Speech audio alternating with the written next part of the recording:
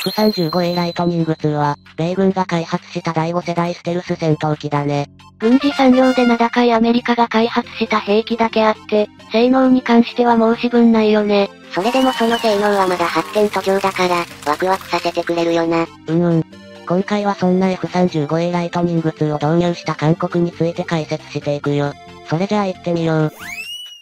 米軍が運輸しているステルス戦闘機には、世界最強と名高い F22 ラクターがあるんだけど、米軍は当初、F15 イーグルを前期 F22 ラクターへ置き換える計画だったんだ。だけど F22 ラクターは最新技術を結集して開発されたこともあり、1機当たり170億円以上の高コスト機となってしまい、調達計画も750機、648機、451機と、削減の一途をたどったよ。最終的には2011年末に米空軍へ引き渡された195号機をもって、生産が終了するに至ってしまったんだよな。性能を詰め込むだけじゃコストが上がっちゃうから、難しいところだよね。このように米軍が次期主力として期待していた F22 は高コストにより機数を揃えることができず、米軍はこの F22 開発の反省から、低コスト多用となステルス戦闘機の、開発計画 JSF 統合打撃戦闘機計画が開始され、後にこの計画で開発された機体が、F35 ライトニング2シリーズってわけ。F35 ライトニング2は一つの基礎となる機体設計から、通常離着陸型 A 型、短距離離着陸垂直着陸型 B 型、関西機型 C 型の3タイプが開発され、今までは全く別の機体であったところを統合することにより、部品やシステムを共通化することで、開発費及び運用コストの削減を目指していたんだ。しかし、全く別の機種を統合することの難易度の高さから開発は難航したぜ。それにより開発遅延と開発費の高騰を招き、当初の計画ほどには低コストな機体とはなっていないんだよな。また、この F35 はすでに米軍や日本、韓国、英国、イタリアなどの国々で導入され、運用がされているんだけど開発プログラム自体はまだ完了してなくて、順次追加アップデートを図りながら作戦遂行能力の拡大及び向上を図っていく計画となっているよ。そして、このアップデート作業にも1機当たり多額の費用が必要数十億円規模であり、これもこの機体の高コスト化を招く一因となっているんだ。日本では、A 型を105機、B 型を42機調達する計画となっており、数の面では米国に次ぐ第2位の F35 運用国となる予定だよ。韓国も F35A を40機、当初は60機調達する計画であり、現在24機を調達済みとなっているよ。導入された機体はブロック 3F 完全作戦能力型と呼ばれるバージョンであり、このブロック 3F のバージョンでようやく F35 に求められる戦闘能力の全てが実装されたんだ。なお、この最新のアビオニクスを搭載した世界最高水準の戦闘能力を持つ F35 ライトニング2だけど、伝統的に米国は米軍使用機体と輸出機体では性能に格差を設けるようにしているらしいよ。韓国軍が調達している機体も米軍仕様と比較すれば意図的に性能を落とされている可能性があり、これの詳細は米国しか知り得ない機密事項だろうけど、果たしてどの程度のダウングレードになっているかは、米国の導入国に対する信頼度によって決まるのかもしれないね。ちなみに、韓国軍が導入した F35A ライトニング2は、韓国側が過去に米軍から導入した兵器を、米国に無断で技術投与した前科があることから、常時米軍の監視下に置かれているとの情報もあり、韓国に対する米国の信頼度の低さを物語っているな。ブラックボックスを開けるなんて、韓国は何を考えてたんだろうね。韓国空軍は現在 F35B を20機程度調達するか否かの検討を開始しているよ。この F35B とは、短距離離着陸垂直着陸型の F35 であり、主に軽空母や強襲揚陸艦などの飛行甲板が比較的短い艦や、カタパルト発艦装置が搭載されていない正規空母での運用を想定して設計された機体だね。そして、F35 シリーズで唯一、垂直着陸性能的には垂直離陸も可能な機体であり、垂直に飛行可能な得意な特徴を持っているために映画でも、垂直に飛行しているシーンが登場しているんだ。ただ、垂直飛行はあくまでも離着陸のための能力であり、映画のように垂直に飛行しながら戦闘行為を行うことは想定されていないよ。この F35B だけど、韓国が F35B の調達を検討しているのは、韓国が軽空母強襲揚陸艦を含むの保有計画を表明しているからだね。この背景として、日本の海上自衛隊が保有する出雲型ヘリコプター搭載護衛艦 DDH の、出雲及び加賀の2艦に対して F35B を搭載することが決定しており、その対抗策としての意図が大きいと思われているよ。なお、すでに日本は一番艦出雲について、固定翼機運用のための第一次回収工事を終了しており、2021年10月5日に米海兵隊の F35B の出雲への着発艦実験を成功させているぜ。そして、F35B は現在、米国以外では英国と日本のみしか採用国がなく、米国や英国は調達機数を引き下げる動きを見せているため、開発元のロッキード・マーチン社からすれば、韓国の導入の動きは歓迎すべきことであるようだな。だけど、この韓国が立ち上げた軽空母建造計画に先立ち、搭載する艦載機のデータがなければ軽空母の建造ができないため、韓国は F35B の開発元であるロッキード・マーチン社に F35B の情報開示を求めたんだけど、調達契約後でなければ明かせないと拒否されているよ。契約しなければ機密情報を開示しないのは当然のことではあるが、国家としての信用度は低いというところも大きいのかもしれないな。韓国がやってきたことを考えると当然だよね。なお、これまでは韓国が現在保有している独都級強襲揚陸艦の、後継艦として3万トン級の大型輸送艦の建造を表明しており、これは中国から空母保有に対する反発を避けるために、空母という名称を避けたものだったんだけど、日本が軽空母相当の護衛艦を保有するに至ったために、明確に軽空母保有の方向性を表明した模様だね。さて、韓国の領海の広さは日本の10%程度しかなく、朝鮮半島全域の領海を含めても日本の12%の広さしかないんだ。それと比較して日本の領海面積は世界第6位の規模を誇り、国土よりも領海の方が国土の12倍広く、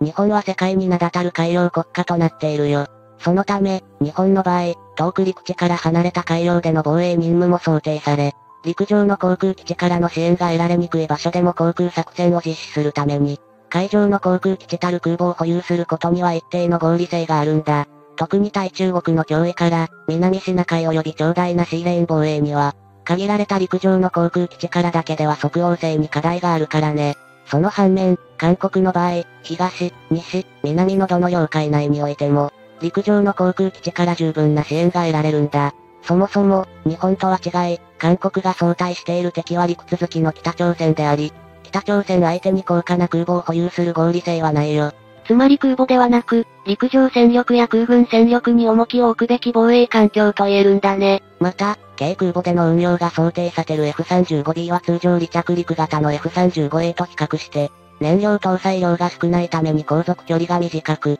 垂直着陸に要する装備の追加による機体重量の増加の影響で、搭載可能な兵装も少なく、整備性や信頼性も悪化しているよ。端的に言えば、F35B は短距離離着陸垂直着陸の能力以外は、F35A に全てを取っていると言えるな。そのような作戦機として劣った機体を F35A に変えて導入するほどの、国防上の利点が韓国にはないため、今回の韓国の F35B 及び軽空母導入計画は、日本が保有するから韓国も欲しいという虚栄心からのものであると考えられるよ。今回の韓国の軽空母保有検討の問題で日本が懸念することは、韓国が米国の意に反した行動をしつつあるということだね。トルコがロシア製のミサイルを導入した際に米国が反発して関係が悪化したように、韓国がそれと同じような状況となれば、韓国の東アジアにおける共産主義国家からの、西側諸国の防波堤の一翼としての機能が薄れ韓国が担っていた負担が日本に移り、それが日本に重くのしかかることになるんだ。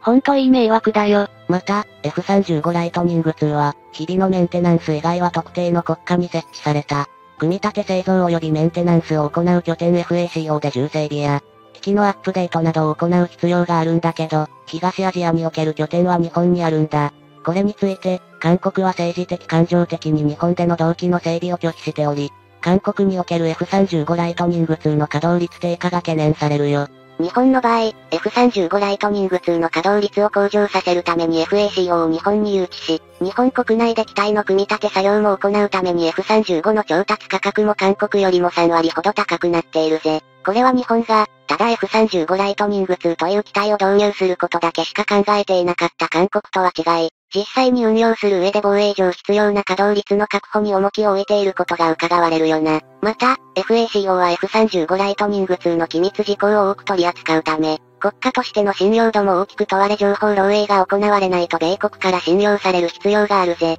うんうん。ただ、これについては、日本と同様に FACO を開設しているイタリアが、昨今のコロナウイルス感染拡大の影響によって経済状況が悪化し、中国の経済援助への依存がますます強くなっており、これにより、イタリアから中国へ機密情報の漏洩が懸念されているんだ。中国の脅威は全世界的に広がっているから、日本もイタリアのように中国への依存度を強めれば米国からの信用度も低下する可能性があるし、日本は難しい舵取りを迫られているんだよね。ちなみに韓国は日本の人口の半分であるにもかかわらず、日本とほぼ同額の防衛予算を計上しているよ。韓国ではインドネシアと共同で開発を行う予定であった。国産4.5世代戦闘機 KFX の開発費の負担増加も問題になっているよ。国民1人当たりの防衛予算の負担が日本の2倍ということもあり、国民から防衛費の使途について、もっと有効な使い方を求める声が韓国内からすでに噴出しており、今後の韓国の動向が注目されるね。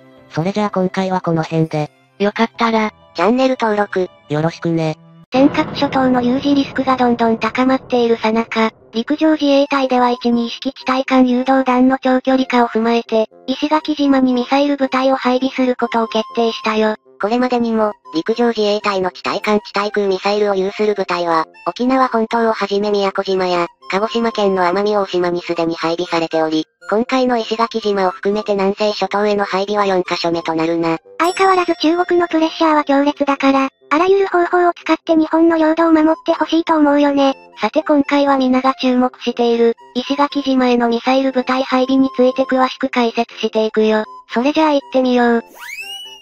そもそも南西諸島は、鹿児島県の南方海上から沖縄県の与那国島にかけて、1200km にも及ぶ範囲に点在する島々の総称だけど、1997年頃から本格的な海洋進出を強めた中国海軍と、最前線で対峙する位置となり、緊張感が高まっているってわけ。かつての中国は、陸続きで接する旧ソ連との国境線を国防上の最大の課題として、その防衛を担う陸軍重視の政策を採用していたんだけど、ソ連崩壊に伴い方針を転換。台湾併合に向けた東方海上への進出を軍事目標としたことで、南西諸島に緊張感が高まることになったよ。南西諸島を第一列島線と名付け、自国の防衛のために、必ず死守しなくてはならない線として考えている中国のことだからな。日本の領土に勝手に線を引いて何を考えているの？という常識は中国には通用しないもんね。中国は、その第一列島線において、制空権及び制海権を確保することで、アメリカ軍の影響力を排除する方針を目標に掲げているよ。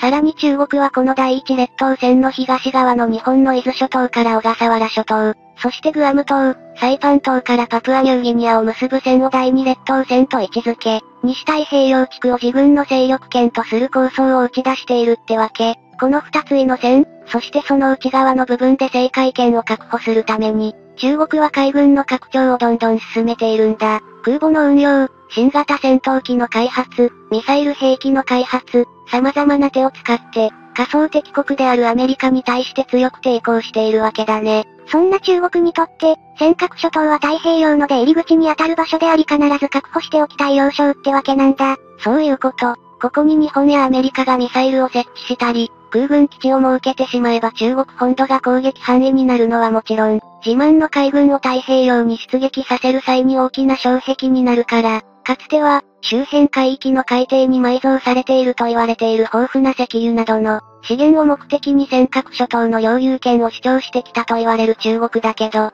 すでに資源は自国で十分賄えるほど生産しているわけで、真の目的は対アメリカ戦争時の障害を未然に排除することが目的なのだろうと考えられ始めているよ。もし、中国の野望が達成された暁には、現状でアメリカ海軍がほぼ独占してる、太平洋やインド洋における支配権を駆逐し、2040年頃をめどにアメリカ海軍と互角以上の海軍力を保有し、世界の海を二分する勢力にまでなってしまうことが考えられるんだ。ここまで壮大な中国の海洋進出の計画を鑑みれば驚異的な速度での海軍艦艇の建造にも納得がいくんだけど、果たしてその青写真が計画通りに進行できているのかといえばそうとばかりは言い切れないみたい。中国における目標の一つ、第一列島船内の制海権の確保は2010年頃までの目標に挙げられていたんだけど、日本は海上自衛隊の潜水艦戦力の増強を行っており、ひとまず2012年には常備22隻体制を確立したことで、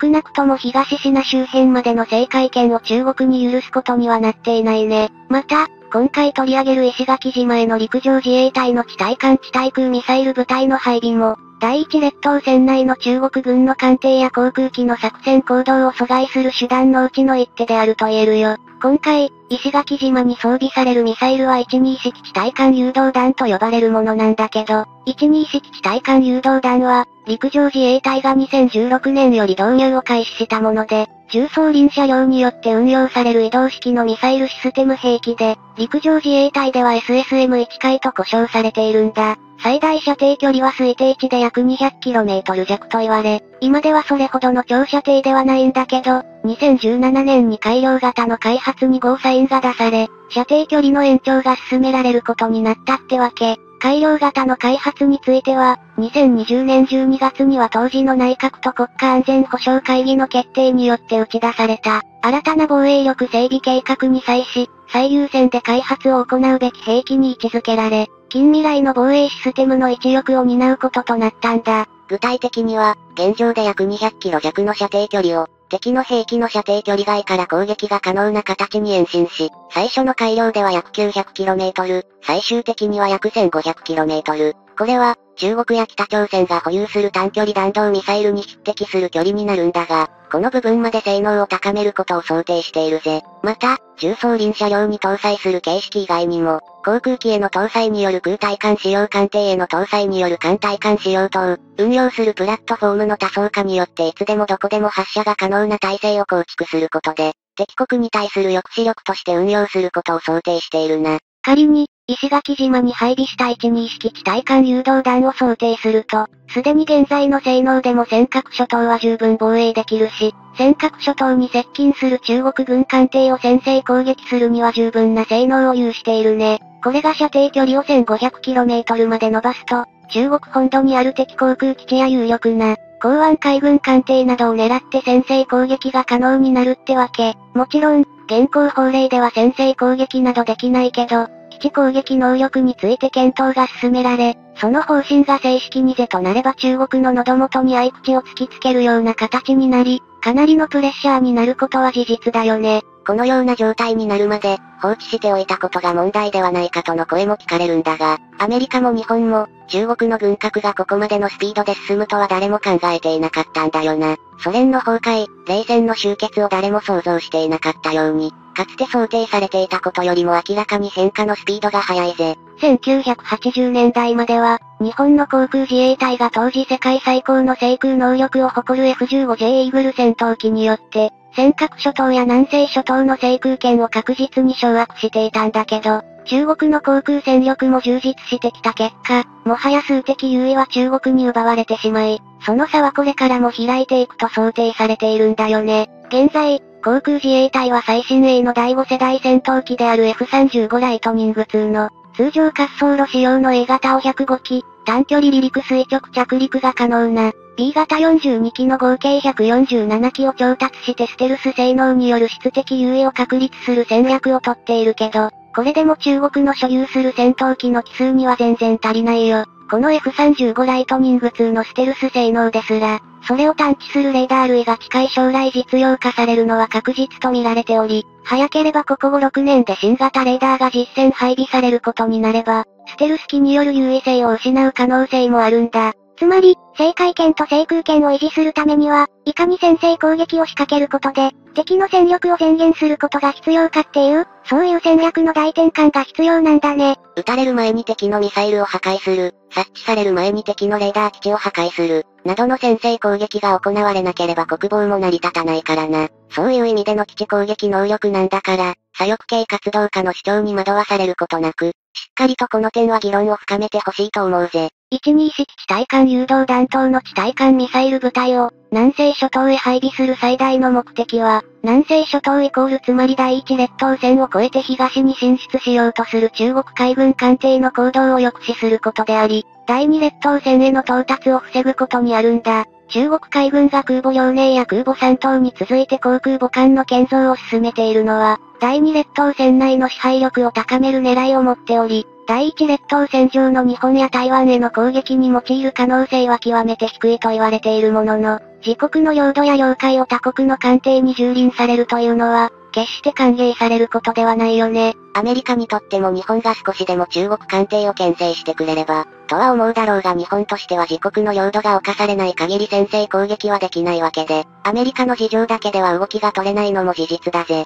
と言っても、アメリカが日本のために一緒に戦ってくれるかどうかも、疑問符が残っちゃうんだよね。うんうん、尖閣諸島について、日米安保条約の範囲内かどうかは明確にしていないアメリカ、施政権が及ぶ範囲において日米安保同盟は有効であるという、不明瞭な回答に左右しているアメリカを、どこまで信用すればいいかわからない部分はあるからね。あれほど守ると言っていたウクライナも、結局はロシアの攻撃を許して戦争は長期化する様相を見せており、アメリカの優柔不断さばかりが目立つことになっているんだ。アメリカを信頼することも必要だが、アメリカが率先して動いてくれると思うのも早計。それぐらいのイメージを持っておいた方が良さそうだな。そういう意味で、今回の石垣島へのミサイル部隊配備は、日本だってやるときはやるぞとアピールするには十分だし、実行力のある防衛だと思えるよね。ちなみにアメリカは、装備される12式地対艦誘導弾に強い関心を持っていると言われているぜ。自国にない兵器で、かなり性能のいいものを持っている日本の12式地対艦誘導弾について、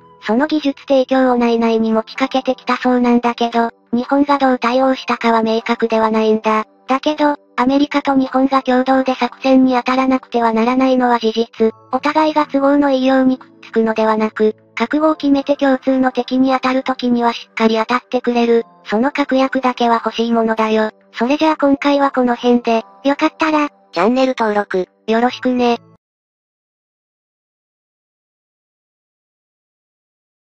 ロシア航空宇宙軍が第5世代ステルス戦闘機であるスホイ57を投入したみたいだね。ウクライナとの戦いは長期化しているし、ロシアとしても苦しい状況が続いているからな。ウクライナは国民一丸となってこの状況に立ち向かっているもんね。ロシアが苦戦するのも無理はないよ。それに比べてロシアの士気は低いからな。何せ全世界から非難の的になっているんだから、下級の兵ほど、何のために戦っているのかわからなくなるんじゃないか？そうだね。いろいろな情報が出回っているし、みんなには情報の見極めをしっかりしてほしいと思うよ。さて今回は冒頭でも紹介したように、ロシア航空宇宙軍が第5世代ステルス戦闘機スホイ57を投入したことについて、詳しく解説していくよ。それじゃあ行ってみよう。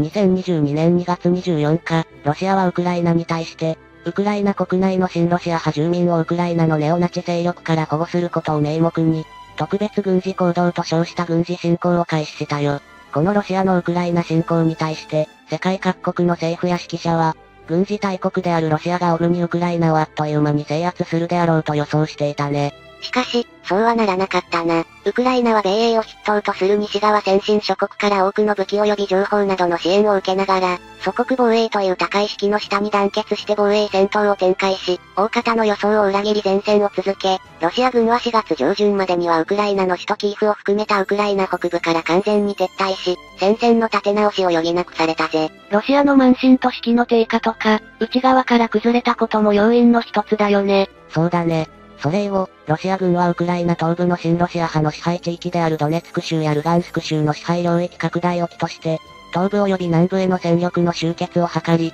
攻勢を強める方針に切り替えているんだけど、5月上旬時点で、ロシア地上軍は、ロシア陸軍が投入可能な戦力の3分の1を喪失したとされているよ。5月9日にはロシアの国家的記念日である独ソ戦戦勝記念日が控えており、ロシアとしては何としてでもこの戦勝記念日までには、目に見える形での戦果が欲しかったんだろうけど、現実はとても誇れる戦果を獲得できてはおらず、プーチン大統領も戦勝記念日での演説では、ロシアを行った軍事行動の正当性と NATO 諸国に対する批判を展開するに止まっているんだ。このようにロシア軍は非常に劣勢な展開となっており、4月14日には、ロシア国会艦隊機関のスラバ級ミサイル巡洋艦モスクワが、ウクライナ軍の地対艦ミサイルネプチューンにより撃沈されるに至り、ロシア軍の予想外の劣勢は誰の目にも明らかになってきたよ。ロシア軍の4月中旬以降の戦略では、ロシア国境からもほど近く、ロシア国内からの兵隊や新ロシア派の支配地域からの支援も受けられるウクライナ東部や南部に戦力を集中すれば、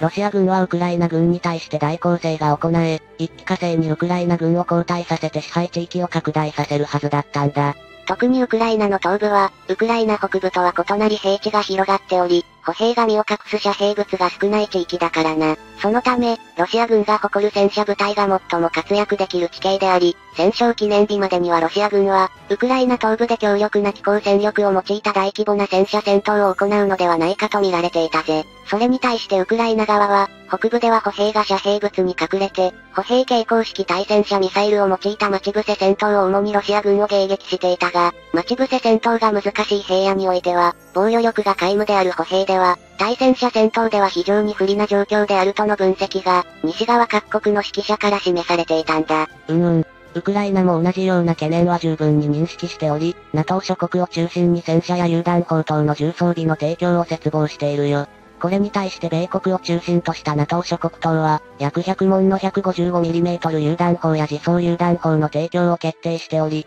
順次ウクライナへの輸送を行っているね。さすがに西側第三世代主力戦車の提供は、ロシア側を必要以上に刺激することを恐れていってはいないけど、NATO に加入した旧東側諸国が保有する旧ソ連製の T72 戦車等を積極的に提供しているよ。西側諸国はロシアに対する経済制裁を強化していて、ロシア国内では、一部の商品では品切れが相次いでいるよね。しかしながら、ロシアは国内では食料や天然ガス等の資源が豊富であるため、経済制裁の効果は現れがたいのではないかという意見も指揮者から上がっているが、しか資源や基本的な食料についての自給は可能であっても、ロシアは精密機械の製造技術が未熟であり、精密機械については他国からの輸出に頼らざるを得ない実情があるぜ。例えば、ロシア国内の携帯電話網を維持するための保守部品の大部分は西側諸国に属する企業のものを使用しており、この企業がロシア国内での部品提供を拒んでいる現状では、ロシア国内の携帯電話網を維持することは相談できなくなり、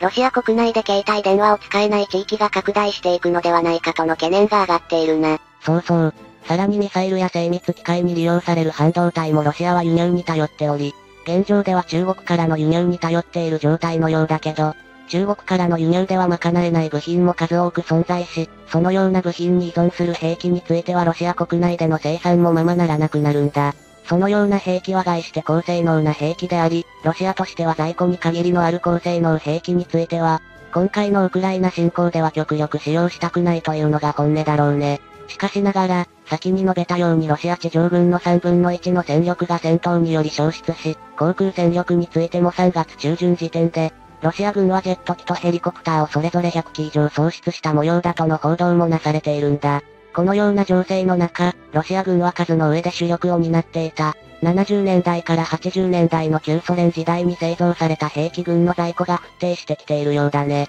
ロシア軍が保有する戦車について、4月末時点で写真等にて確認されている限り、T64 戦車が15両、T72 戦車が379両、T80 戦車が115両、T90 戦車が19両破壊されていることが確認されているよ。そして、4月後半には、これまで投入されていなかった最新型の T90M がウクライナ戦域に投入され、撃破されていることが確認されてるんだ。ロシア側にとっては大打撃だよね。さすがにここまでの反撃は予想外だったんじゃないかなところで T90M って ?T90M 戦車は、2021年より部隊配備が開始された最新型の戦車だね。本来、ロシアは T14 戦車と呼ばれる最新鋭戦車を開発して配備を目指したんだけど、経済情勢の悪化や部品調達がうまくいかずに同社の開発が遅延し、その穴を埋めるために T72 戦車をベースに現代戦に対応すべく大幅な近代化改修を行い開発されたんだ。T14 戦車が投入できないロシア軍としては、まだまだ数も揃っておらず、